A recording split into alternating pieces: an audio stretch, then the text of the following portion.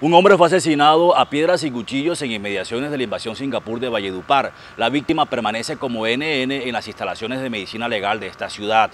El CTI de la Fiscalía adelanta las pesquisas de este caso. Un nuevo homicidio ocurrió en Valledupar. Un hombre fue asesinado a piedras y cuchillo en inmediaciones de la invasión Singapur. Se trata de un hombre que no había sido identificado y que fue asesinado con elemento contundente y arma blanca en hechos ocurridos a las 10 de la noche del pasado miércoles 4 de agosto en un asentamiento conocido como Vista Hermosa, que colinda con la invasión Singapur. Habitantes del sector dieron aviso a las autoridades sobre el hallazgo del cuerpo del hombre en un potrero. Según testigos, esta persona se dedicaría a la venta de alucinógenos en el área. Agentes del CTI de la Fiscalía realizaron una inspección técnica al cadáver y llevaron a cabo las investigaciones correspondientes de este hecho sangriento.